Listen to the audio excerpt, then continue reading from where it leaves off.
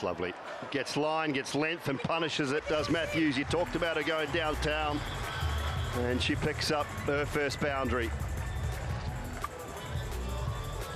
Now we said about the talent that she has going down the ground, lofting it over the top, commits to the shot. We saw Dottin swinging it towards the boundary edge. The father, that has just worked away nicely. A couple of bounces into the boundary for four more. Very clever from Hayley Matthews. Still straight. Two straight, and this is uh, well played. Use the pace. Matthews will know all about Dottin and just got herself a boundary. Yeah, again, these two would have played with and against each other a lot. Good battle here between the two West Indians. Hayley Matthews, one of the best in the world. You just see that uh, she's gone the wrong way. Couldn't pick it up. It came out of the uh, stand on the opposite side and she ran completely in the different direction, Campbell.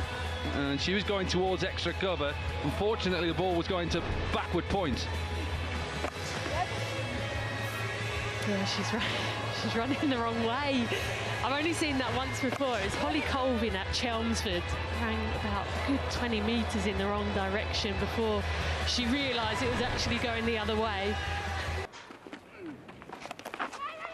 Oh, this will be four. Little bit leg side from Sophie Ecclestone and swept away. Short, pulled away. It's a good shot, strong shot. And another boundary for Matthews. Yeah, nicely worked by Hayley Matthews, just pivoting really, pulling that front leg up. Not sure she had something to hit against, just use the extra pace of Deandra Dottin, 71 miles an hour. I'm definitely going to lose. Beautifully struck. Maybe Winvis needs to listen to Lisa Sthalekar. Hayley Matthews launching over the top yet again. Hammered away over the top. Cross bat, flat bat, matters not. It brings Hayley Matthews her half century off just 31 deliveries, nine boundaries in that. And the Welsh Fire well on the way of chasing this big target down.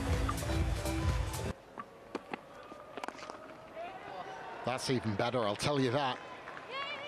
Lovely lofted drive. The Manchester Originals have to, must protect those straight boundaries. We've only been on eight deliveries of commentary and she keeps blasting the same bit.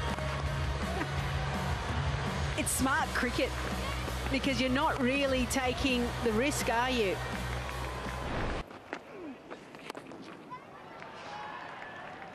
Hitting over the top.